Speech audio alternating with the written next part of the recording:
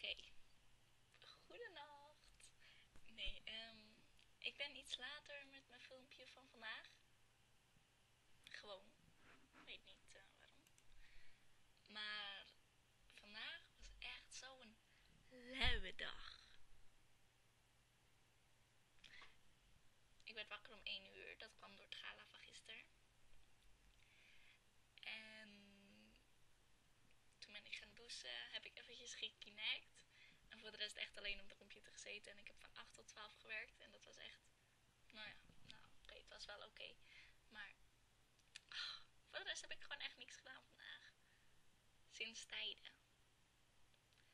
Maar ik heb nog wel wat heel grappigs te vertellen. Waar ik vandaag achter kwam. Want um, gisteren ging ik natuurlijk naar Gala. En ik had mijn jurkje over de stoel gehangen. En um, ik haalde me vanmiddag vanaf en toen zag ik dus dit.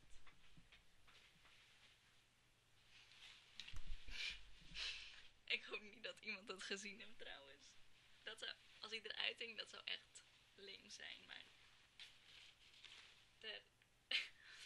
mijn prijskaartje hing dus nog aan mijn jurk.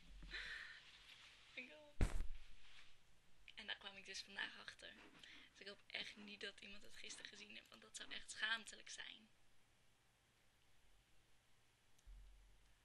Ja.